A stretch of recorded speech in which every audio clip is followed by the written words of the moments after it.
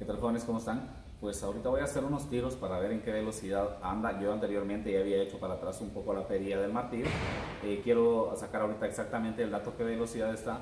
Yo lo que busco que ande entre los 900 925 pies por segundo y con eso me voy a quedar para sacar los grupos. Eh, luego voy a sacar unas medidas acá de, de, la perilla del martillo. Se las voy a poner en alguna imagen más adelante para que los amigos que no tienen crono esta medida les pueda servir si ellos están buscando esta velocidad aproximadamente también. Ok, voy a hacer ahorita unos tiros. Voy a hacer primero esta tolva.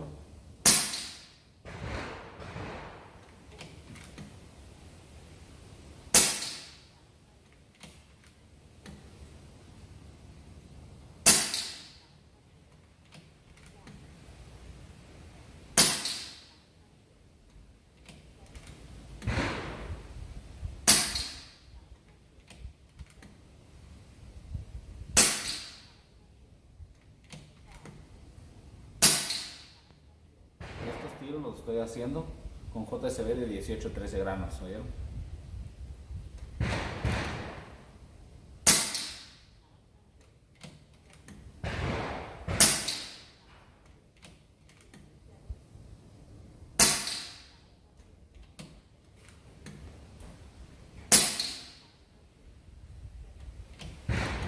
Donde está pegando ahorita es en una pieza que tenemos a 40 metros y se escucha fuerte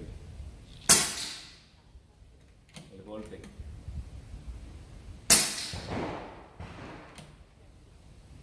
Llevo, ya perdí la cuenta, 10 tiros.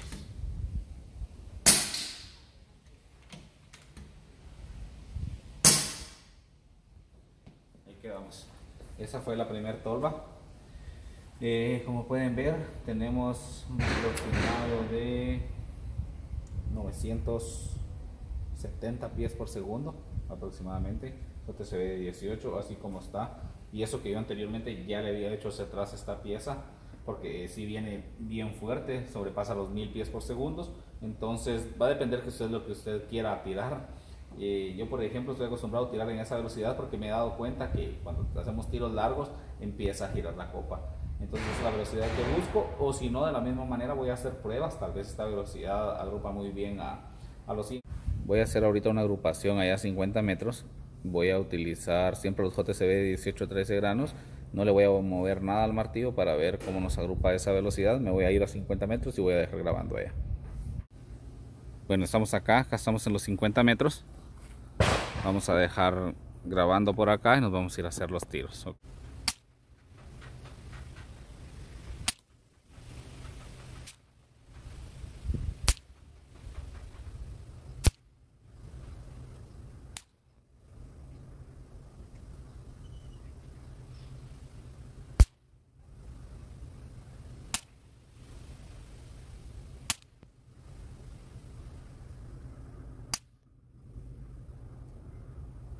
Como pueden ver, eh, sigue consistente en el rango de 970 pies por segundo. Considero de que ahí se fueron como dos flyers, ustedes lograron ver. Este y este, todos los demás entran en el mismo grupo. Estamos hablando que serán tal vez un poco más de media pulgada o media pulgada.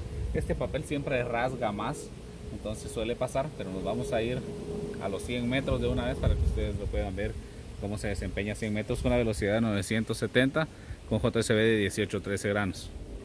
Bueno, aquí estamos a 100 metros, entonces vamos a proceder con los tiros. Vamos a intentar hacer dos grupos. Vamos a hacer uno al lado izquierdo uno al lado derecho. Eh, vamos a hacer 10 tiros en cada uno.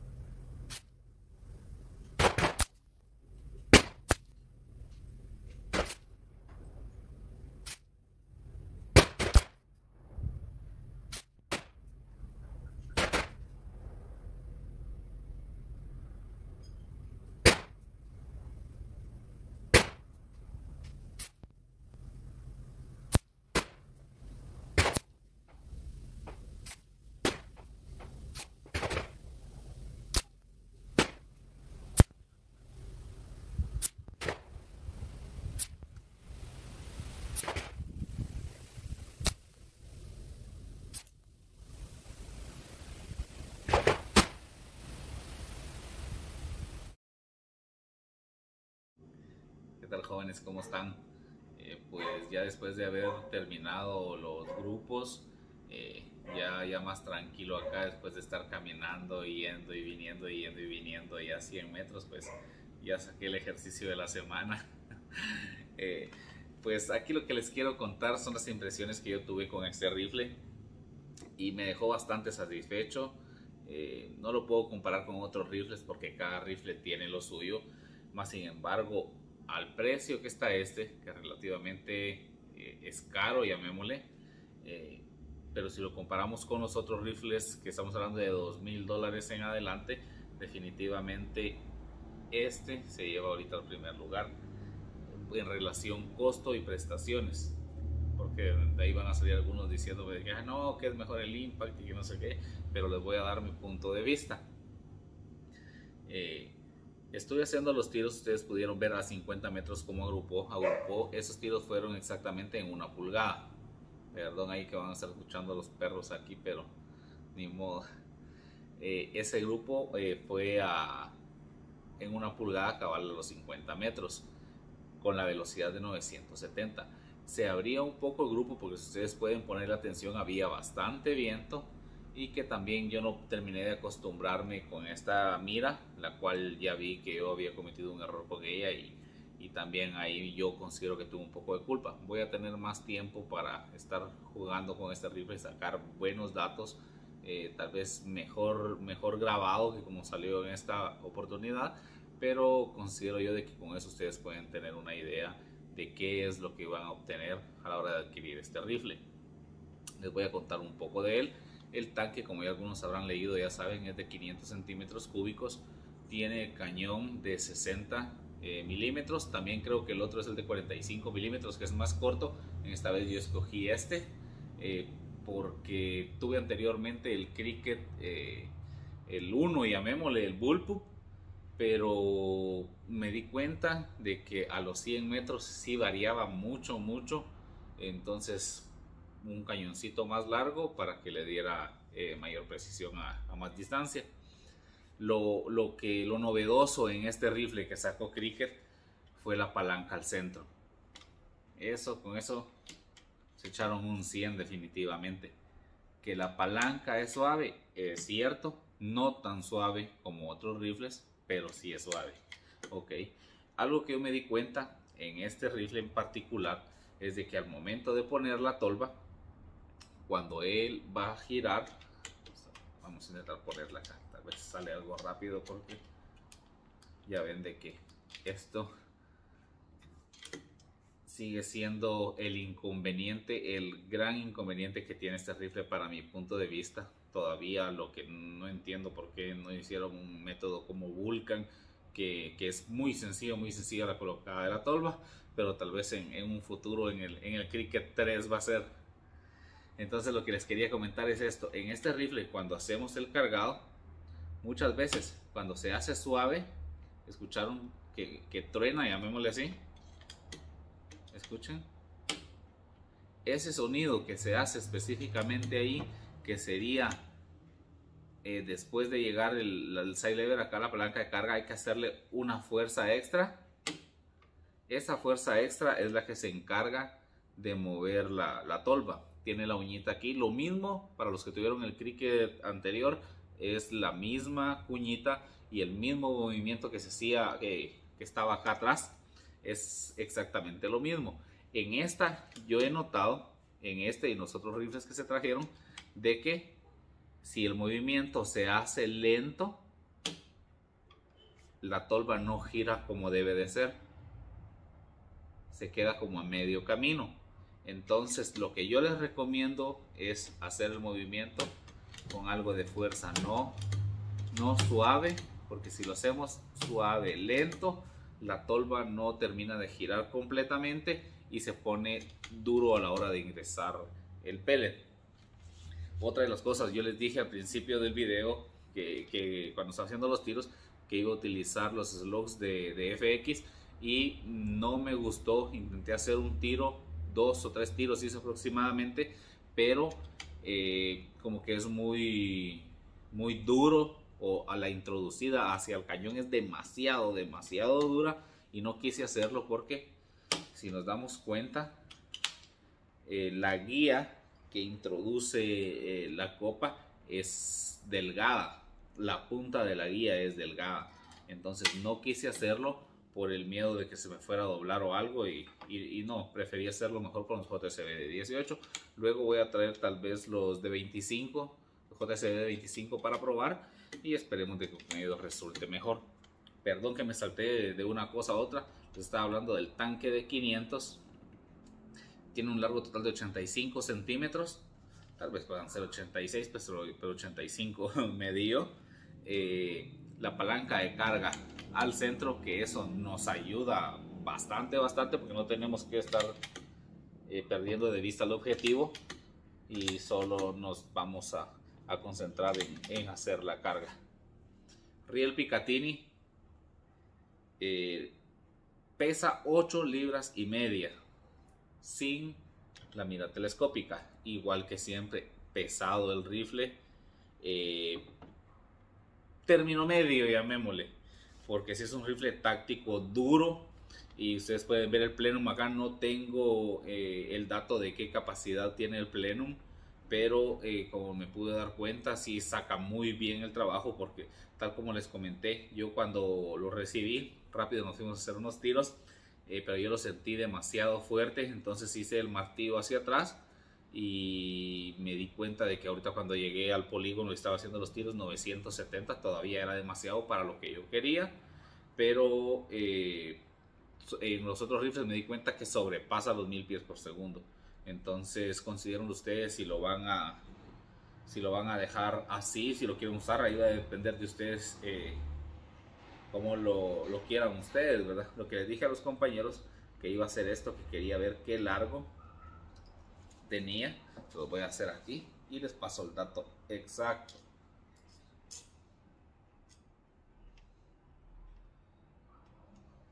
Tiene 19 milímetros. ¿Oyeron?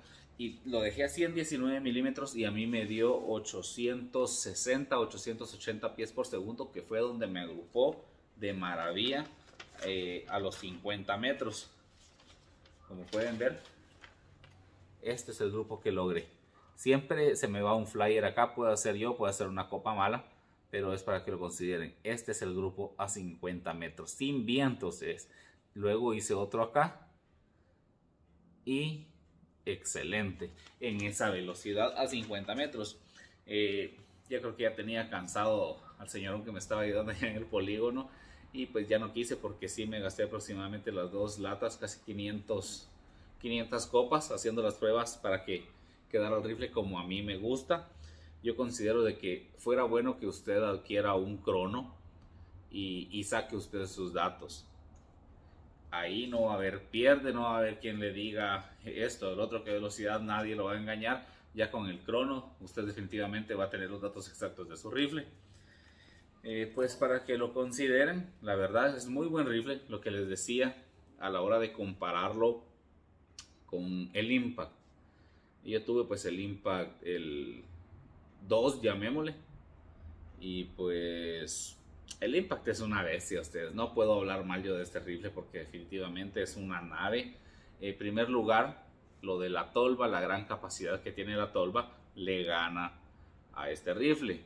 La palanca de carga es más suave, le gana a este rifle. El Impact trae un silenciador, le gana a este rifle.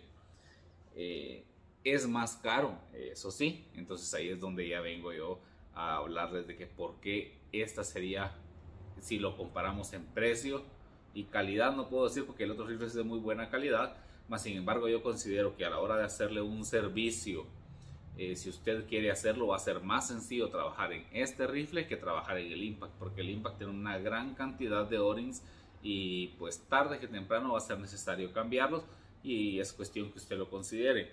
El rifle que yo tuve no le cambié los empaques nunca. Lo tuve alrededor, no recuerdo si fueron como bueno, dos años. No, no, no tengo el dato en mente ahorita. Pero eh, el rifle yo lo tenía nítido. Nunca le cambié los empaques. Más sin embargo, solo le limpiaba el cañón de vez en cuando. Esa es otra cosa que deben de hacer en esto. Yo les aconsejo que limpien el cañón cuando les llegue nuevo el rifle, porque cuando yo lo limpié sí me salió bastante como grasa, que es me imagino cuando fue la producción del cañón. Y otra cosita por acá, que en la punta tiene para que ustedes le puedan adicionar algún silenciador si ustedes desean por acá. La medida es de media UNF para que ustedes lo consideren. Yo sí me, me adquirí uno ahí, pero de todas maneras sí es silencioso este rifle para tirar en el campo. Si ustedes quieren tirar en la casa, eh, pues considero que sí es un poco el ruido, no es tan exagerado como otros, pero considero de que si es para, para el patio o algo, sí deberían de ponerle un silenciador, aunque va a sonar más duro el golpe que, que la salida de la copa. Esos son solo algunos datos. Si me estoy pasando algo por alto, disculpen, pero eh, considero yo de que hay cualquier cantidad de videos para que usted pueda buscar y le van a decir exactamente lo que usted está buscando o váyase a la tienda de algún distribuidor Arizona por ejemplo eh, ahí están todas las especificaciones que usted necesite saber de él. Eh, lo bonito recordarán que el cricket anterior no tenía seguro este ya tiene su seguro por acá para aquellos que, que lo usen. Yo principalmente la verdad no lo uso. Yo cargo y si no voy a hacer el tiro prefiero hacerlo a un lado ya que pues la verdad así me he acostumbrado. El puerto de carga de este lo tenemos de este lado. Les voy a mostrar. Traemos un guardapolvo aquí para protegerlo. Este viene solamente el conector, hay que adquirir por aparte el conector de toma rápida, bien. Viene también con un juego de empaques para utilizarlos en algún futuro y una piececita aquí como un tornillo que me imagino yo que va a ser para descomprimir el tanque con dos tolvas de 12 tiros cada una similares a las del el anterior. Pues espero de que estos datos les sirva de algo y que los anime a adquirir este rifle porque la verdad no se van a arrepentir es un rifle que pues estéticamente me gusta a mí en lo particular bastante eh, tiene su riel Picatinny como ustedes pueden ver aquí abajo para poderle poner el, el bípode. Y pues no le puedo llamar culata, no sé ni cómo llamarle a eso. Eh, pues es de madera como lo pueden ver acá. Eh, la cantonera es ajustable. Y como pueden ver aquí en la parte de atrás que ya les había dicho es el martillo para que nosotros le demos más potencia. Enroscando le damos más potencia, desenroscando le bajamos la potencia. Eh, pues la verdad a mí me encantó el rifle. Solamente lo que les dije anteriormente, lo de la tolva, sí. La verdad, la verdad, al principio es un dolor de cabeza esto. Porque estamos acostumbrados a los rifles anteriores de que solamente cargamos con una mano, lo poníamos y listo, cambio no. Aquí al principio considero que si tenemos que utilizar las dos manos haciendo para atrás, que quede centrado y queda listo. Eh, para mi punto de vista, este es el único defecto que yo le diera, si lo puedo llamar defecto, la tolva. O no la tolva, sino el mecanismo para poner la tolva, que sí es bastante engorroso. Cualquier cosa, pues voy a seguir haciendo videos más adelante eh, con la velocidad que yo lo dejé ahorita actualmente y también le voy a subir, ya saben que a mí me agarra la locura y cualquier rato le quiero subir la potencia y pues esto es lo bonito en este rifle, no tenemos que estar haciendo tanto como los otros rifles, aquí solamente le apretamos el martillo y vámonos. Eh, la cantidad de tiros no la tomé, fueron más de 100 tiros por carga, eh, entonces es una gran cantidad de tiros la que ustedes tienen disponible. Saludos mis estimados, siempre estamos ahí en contacto, espero que la pasen bien, pues. Saludos.